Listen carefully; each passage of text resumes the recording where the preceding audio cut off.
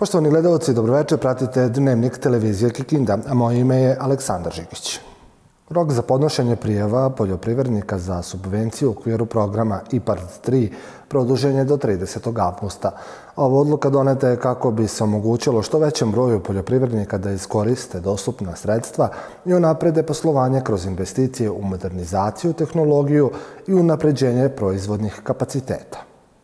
Rok za podnošenje prijava poljoprivrednika za subvenciju u okviru programa IPART 3 produžen je do 30. avgusta, čime se pruža dodatna mogućnost poljoprivrednim proizvođačima da iskoriste sredstva iz ovog važnog programa. Program IPART 3, koji je objavljen 23. februara, namenjen je napređenju fizičke imovine u poljoprivredi, a prethodni rok za podnošenje zahteva za subvencije za meru 1 bio je 12. avgust.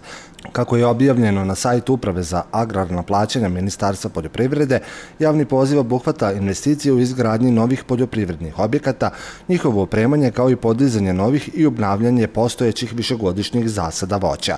Posebno se naglašava važnost ulaganja u zasade sa višim fitosanitarnim standardima kako bi se unapredio kvalitet proizvodnje i osigurala veća otpornost na bolesti i štetočine. Pored ovoga, prihvatljive su investicije u nabavku opreme, ali isključivo kao deo šireg projekta koji uključuju izgradnju objekata ili podizanje zasada.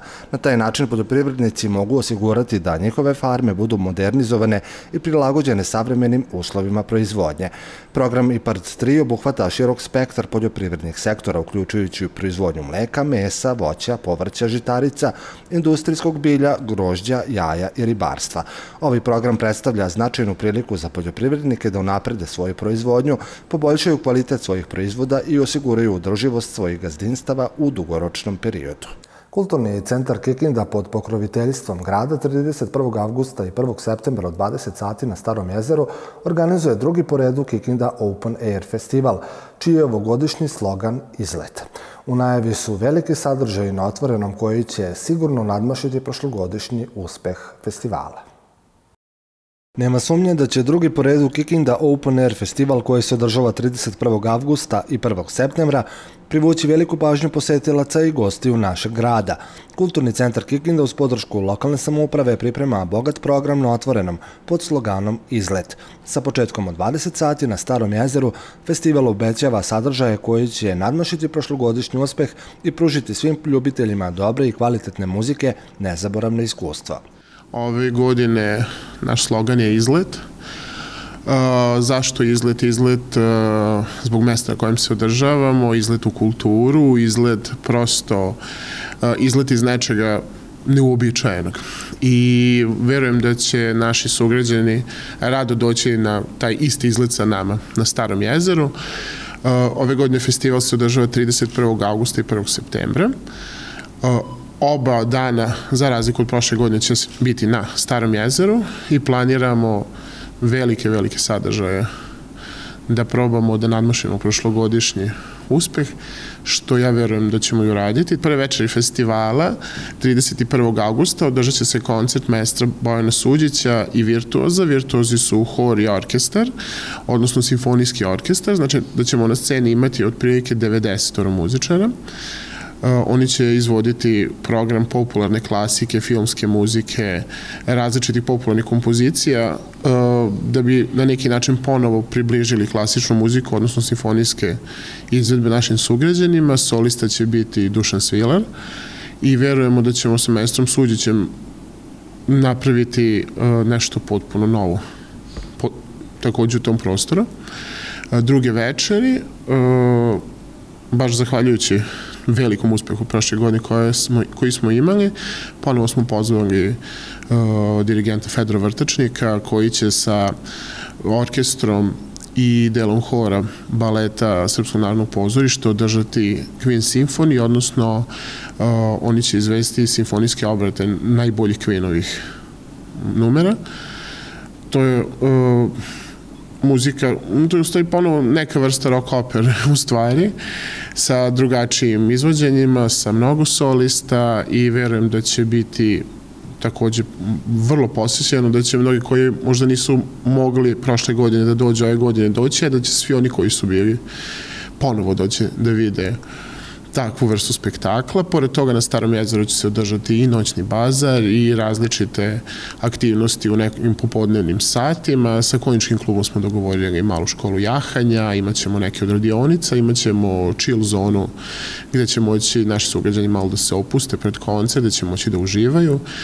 Tako da verujem da ćemo ove godine zaista nadmašiti prošlogodišnji uspeh. Solisti koje ćemo videti na sceni Kikinda Open Air festivala su između ostalih i Bojana Stamenov, Matija Zanata, Zoran Šandorov i Nikola Mijić. E, zadovoljstvo je kada tokom leta, ali i tokom cele godine e, možemo da organizujemo niz manifestacija koju Kikindu stvarno stavljaju na mapu pre svega turističke ponude, onda umetnosti, kulture, e, lepog provoda e, i nekako ponovo drugi Kikinda Open Air koji će biti poslednjeg vikenda augusta ili leta, nekako svi ljudi koji organizuju, posebno kulturni centar koji maksimalno kvalitetnim svojim idejama daje jedan e, apsolutno dodatnu dozu kvalitetu pre svega događaja e, u gradu Kikindi. E,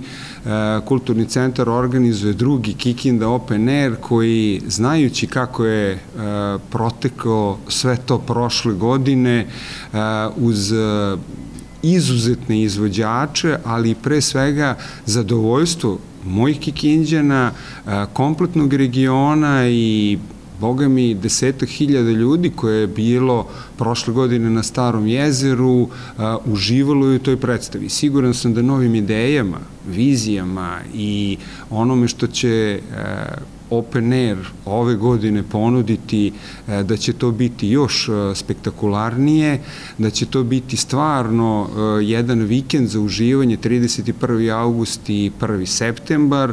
Siguran sam da izvođači će uživati, kao što su nam i rekli prošle godine svi koji su bili i od izvođača i od posetilaca da je sam događaj Starog jezera e, i korišćenje Starog jezera u e, pre svega promociju Kikinde, ali i promociju kulture, muzike, e, dobre, pesme, izuzetnih izvođača u jednom izuzetnom okruženju, pa tematski kada se to uradi, stvarno ljudi sa vizijom kakav je Marko Markovljev i njegov kompletan tim, to će stvarno biti nešto nezaboravno. Lukač je dodao da je sa realizacijom ovakvih sadržaja Kikinda odlučna u misiji da u projektu Kikinda 2027 izvanično postane nacionalna predstavnica kulture. U okviru letnje kampanje Crvenog krsta Srbije, Crveni krst Kikinda i Zavod za transfuziju krvi Vojvodine organizuju akciju dobrovoljnog davalaštva krvi. Akcija će biti održana u ponedeljak 12. avgusta od 8.30 do 13 časova, a transfuzio mobil Zavoda za transfuziju krvi Vojvodine će biti postavljen na parkingu kod Lidla. Drugocenu tečnost mogu darovati zdrave osobe od 18 do 65 godine. U okviru aprila meseca drugarstva na Lanetovoj sceni sutra od 19 sati biće izvedena predstava Škola za klovnove. Tekst i režiju ovog komada potpisuje Miodrag Dinulović, a informacije i rezervacije karata su na brojeve telefona 060 0247 048 i 064 1589 314. Muzičko veče ponekad u 8. Održat će se sutra od 21 sat kada će za Kikinđane sa balkona gradske kuće nastupiti Aleksandar Duin i Nevena Reljin. Događaj organizuje turistička organizacija grada Kikinde uz podršku lokalne samuprave, a u okviru manifestacije Kikinsko leto.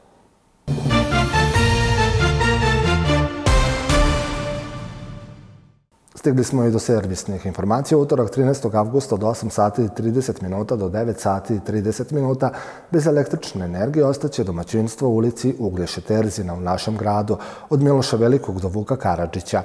Dan kasnije, odnosno u sredu od 9 do 12 sati stroje neće biti u ulici Bošajerske drum od Rasadnika do firme Jolić, put za pristanište od Zopasa do broja 57, kao i u Banatskoj ulici od ulice Vodice do broja 25.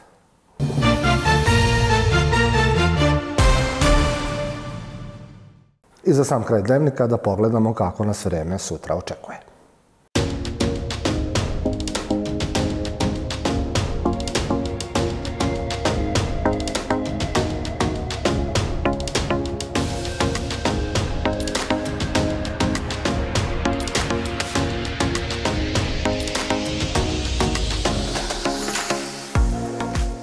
U Srbiji u nedelju sunčano i tropski toplo. Duvaće slab do umeren severoistočni vetar. Minimalna temperatura 13, maksimalna 36 stepeni.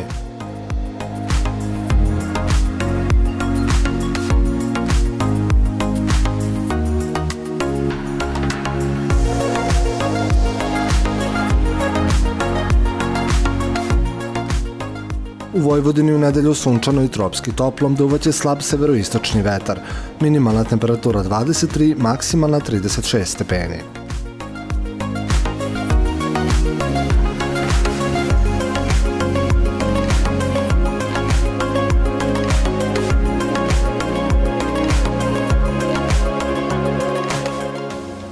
U Kikindi u nedelju prepodne sunčano, popodne sunčano i veoma toplo. Minimalna temperatura 24, maksimalna dnevna 35 stepeni. Pogledajte kako nas vreme očekuje narednih dana.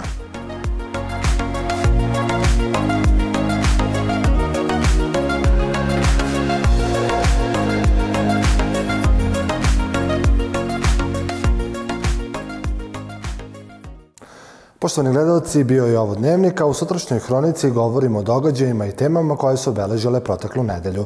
Hvala vam na pažnji i želimo vam prijatan vikend.